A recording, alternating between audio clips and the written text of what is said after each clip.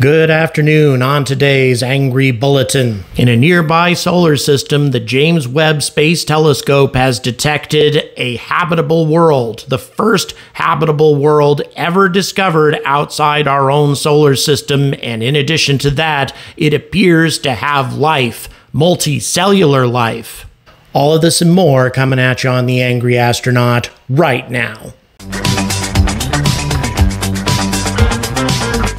Good afternoon, and welcome once again to another episode of The Angry Astronaut. So, uh, yeah, some very exciting stuff coming up in this particular episode. But, real quick, want to thank all of those folks who have shown up for my tour events thus far. Thank you very much to my viewers in the Orlando area, in Pittsburgh, in Toronto, and finally in Cincinnati. Some unusually large groups have come in spite of the difficulties involved in coming to these events. Thank you so much. And what I have coming up right now is going to be LA, followed by Flagstaff, and then ending in Denver. And the reason for that is my Colorado arrangements fell through and I need to find another location. And uh, frankly, I would prefer to take care of the locations where I have a confirmed spot before I try to set up another one. So if you happen to live in the Denver area and you are aware of some sort of meeting space that has enough room for 30 or so people,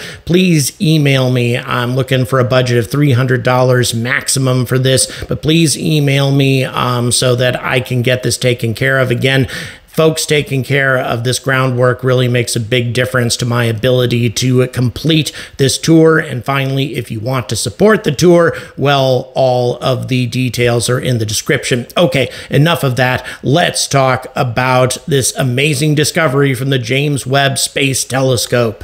So, at this point, I'm sure a lot of you have probably heard about this planet, this uh, super Earth as it is called. It doesn't necessarily strike me as being a particularly fantastic place to look for life or for a habitable planet. It's a super Earth. It's many times more massive than our own planet, and it's orbiting a cool dwarf star not the type of star that we orbit, nothing at all like our own sun. So, why would it be so habitable? Well, interestingly enough, we have been studying this planet for a very, very long time. Actually, before James Webb was even deployed, we knew that there was water vapor in the atmosphere of this planet. We also knew that it was orbiting in the Goldilocks zone of its given star. We knew a lot of other things before James Webb gave us this additional information. But what we know now is that this planet is very likely what's called a Hycean planet, a water world, and that it very possibly has life in its oceans.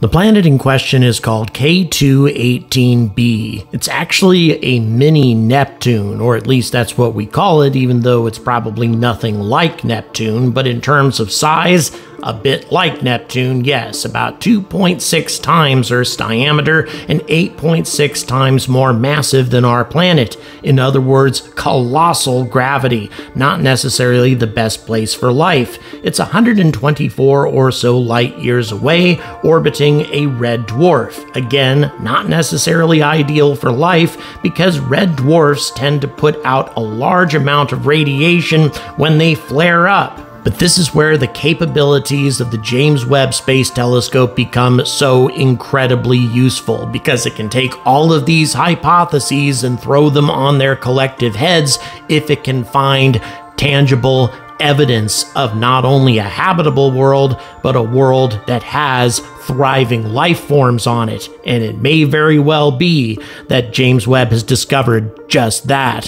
When planets pass in front of their host stars, in this case, this particular planet was observed on two different occasions by James Webb while it was passing in front of its star, their atmospheres can be observed in great detail, and we can determine what their atmospheres are like by how they affect starlight traveling through them. And what James Webb found on two separate occasions. Again, these studies were made twice because red dwarfs have a tendency of flaring from time to time and messing up spectrographic readings, but on both occasions, a significant amount of methane and carbon dioxide was detected, but without the presence of ammonia, and these combinations combined with the water vapor that's been detected in the past suggests that this might be a Hycean world. Yeah, I mispronounced it before when I said Hycean.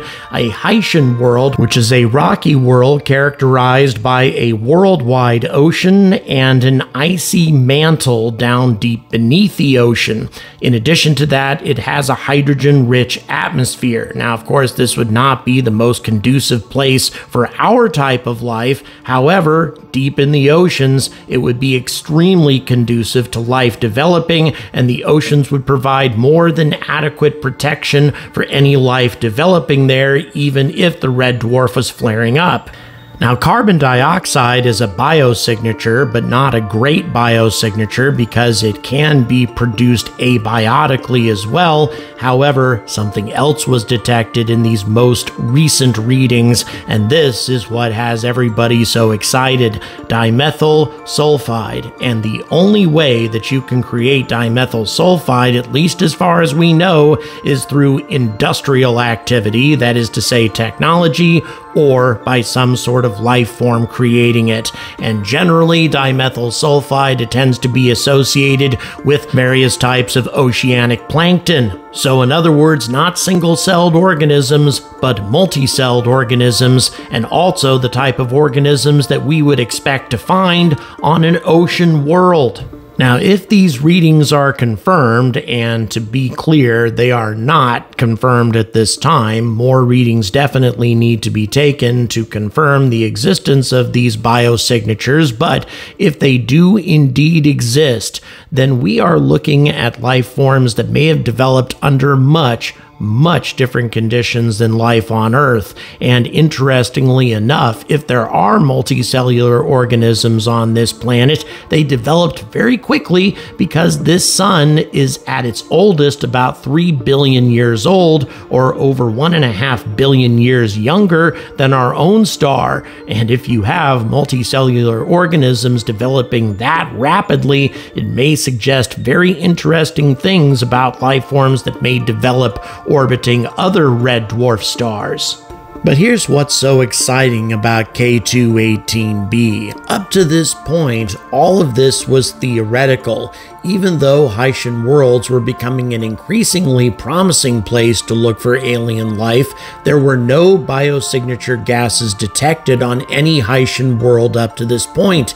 Now, that has all changed. James Webb has indeed detected a biosignature gas and a very obvious one on K2-18b. And if this is confirmed, then we have very solid evidence for the existence of multicellular life on another planet outside our solar system for the first time ever. And not only that, it suggests that Hycean worlds in other solar systems may also be promising places to look for life, because they can thrive much more freely on these types of worlds.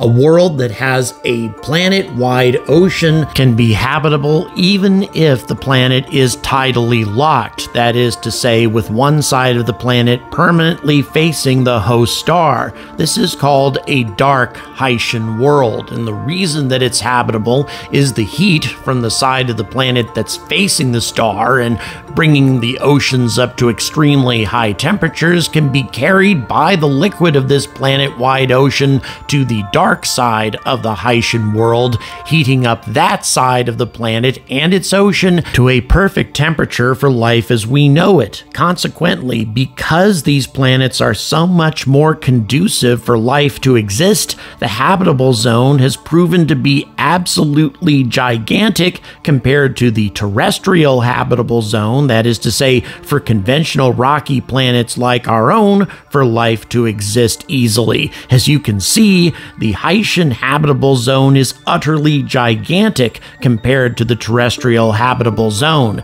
That being the case, then, quite a number of exoplanets have already been identified that may indeed be habitable Hycean worlds. Indeed, an article entitled Habitability and Biosignatures of Hycean Worlds, published in the Astrophysical Journal in 2021, linked in the description, has identified 11 exoplanets that we have already detected that may be habitable Hycean worlds. They fall within the habitable zone, they're the right size, the right temperature. We just haven't scanned them for the right types of biosignatures yet, although James Webb is the perfect instrument for doing this. Unfortunately, however, James Webb is being primarily used to study the distant universe and not nearby stars. And yes, that is its primary purpose. However, as far as getting the public interested in the importance of astronomy, wouldn't it be better if we use this instrument to detect life in another solar system rather than a faraway quasar and what it might have looked like 15 billion years ago. Even more compelling is the fact that life on a Hycean world might be very, very different to life on Earth. Even though we do have deep oceans, of course, on our planet, Hycean worlds would be primarily deep ocean environments with little or no light. Keep in mind that red dwarf stars don't create a great deal of light to begin with, and on dark Hycean worlds, where the habitable zone is on the opposite side of the planet, well, that would never receive starlight at all in the first place. So you would be looking for life forms that might be able to generate their own luminescence, or perhaps they would have another way of seeking out prey or other food sources. In addition to that, keep in mind that this would be a high gravity world, although the presence of abundant water would lessen the impact of such high gravity on the life forms involved. They wouldn't suffer from the crushing effects of gravity the way terrestrial animals would. It would certainly have an impact on their internal organs and things like that, but anything that could survive the extreme pressure of the depths of these oceans. And by the way, Hycean oceans could be hundreds of kilometers deep, something that boggles the imagination compared to our oceans here on this planet, but it could make for extremely varied types of life forms. And by the way, also, some of these Hycean worlds are orbiting stars that are much older than ours, meaning that evolution has been going on on these worlds for a much longer time than it's been going on on our planet, meaning that it could have far greater diversity and far more advanced types of life forms than we have on our own planet. Unfortunately, on Hycean worlds without the ability to create their own electricity, their own fire, that sort of thing, those sorts of things are difficult to make underwater. They probably aren't technologically sophisticated, no matter how intelligent they might be. However, it's also important to note that dimethyl sulfide is not just a biosignature, it's also theoretically a technosignature, which means that we need to be pointing radio telescopes towards this planet as well, looking for signals, because even though a technological civilization on a Hycean world seems pretty unlikely, we shouldn't rule it out totally. What a strange experience that would be if we were to receive some sort of strange signal near the hydrogen line from a planet where we have already sensed the telltale signs of life and we should be focusing James Webb's efforts on scanning this planet as soon as possible. It orbits its sun every few weeks anyway, giving us many opportunities to scan the sunlight passing through its atmosphere. If we can confirm the existence of this biosignature gas, then we have almost definitely found life beyond our solar system, and what could be more exciting than that? Please like, please subscribe. It's very important to the success of my channel. And also, please check the description for various ways to support my tour so I can wrap this up. And once again, thank you so much for watching. And as always, stay angry about space.